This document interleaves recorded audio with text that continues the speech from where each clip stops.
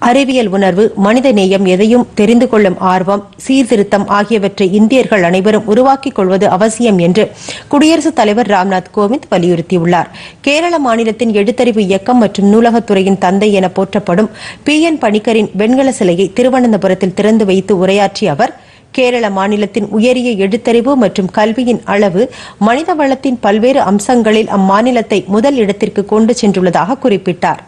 கேரள மாநிலத்தின் குர்கிராமங்களிலும் நூலகங்கள் இருப்பது ஒரு தனித்துவமான அம்சம் என்றும் அவர் கூறினார் நூலகம் மற்றும் எழுத்தறிவை மக்கள் இயக்கமாக மாற்றிய பணிக்கரின் பங்களிப்பை குடியரசுத் தலைவர் பாராட்டினார்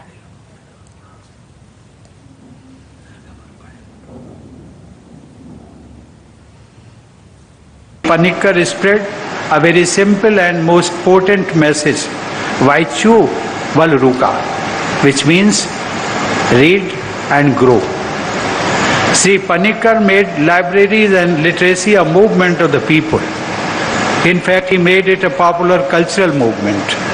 It is a unique feature of Kerala that in every village, even in the remotest village, there is a library.